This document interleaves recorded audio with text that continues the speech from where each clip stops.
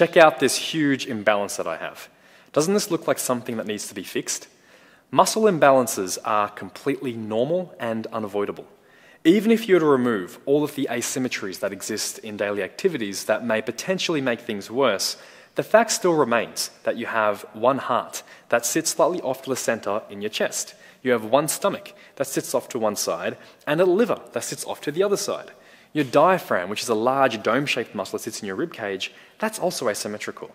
Even your face has some asymmetries to it, which is why you look different when you take a selfie on your phone and the image gets flipped around. So, if our organs, our muscles, our structure, and our lifestyles are all imbalanced, why do we continue to believe that we need to have a perfectly symmetrical and balanced physique? And why do we think that it's a problem to have muscular imbalances? It's time to stop stressing over perfectly normal things like this. You're not as broken as this industry would like you to